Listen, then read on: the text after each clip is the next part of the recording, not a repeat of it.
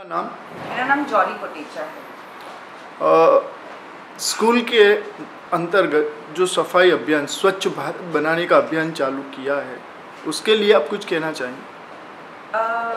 बच्चों को और पेरेंट्स को इस पूरे इनिशिएटिव में डीएवी स्कूल ने इतना इन्वॉल्वमेंट और चार्ज दिया है कि हम आज सब पेरेंट्स और स्टूडेंट्स और टीचर्स डीएवी स्कूल के इकट्ठा हुए।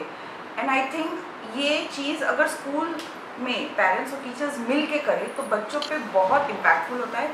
वो स्कूल में भी ये करेंगे और घर जाके भी स्वच्छता अभियान जारी रखेंगे। So I think it's a beautiful initiative हाँ क्या लगता है आपको कि ये जो मुहिम स्कूल के द्वारा जो लिया गया है वो एक परफेक्ट रिज़ल्ट मिलेगा उसका? डेफिनेटली बिकॉज़ बच्चा दो ही जगह से सीखता है स्कूल से और घर से। अगर पेरेंट्स और टीचर्स मिल के ये कर रहे हैं तो बच्चे के अपब्रिंगिंग में ये बहुत ही इम्पैक्टफुल होता है कि मेरे पेरेंट्स और मेरे टीचर्स मिल के स्वच्छता कर रहे हैं।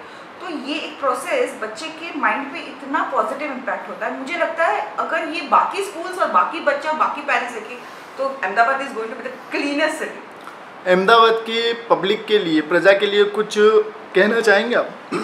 प्लॉगिंग जो हमने इस बार शुरू किया है ये इतना वंडरफुल कंसेप्ट है कि हमने फिटनेस और क्लीनलीनेस को मिक्स कर दिया है। तो बच्चे जॉग करते करते गाना गाते गाते लिटिल लिटर भी उठा रहे it is a fun activity and it is fitness drive plus cleanliness drive I think Modi ji जो चाहते हैं तो प्राइम मिनिस्टर चाहते हैं वो परफेक्ट एग्ज़ाम्पल है combination of you know fitness and cleanliness आप क्या चाहते हैं? 2019 की जो इलेक्शन है उसमें Modi ji uh definitely no doubt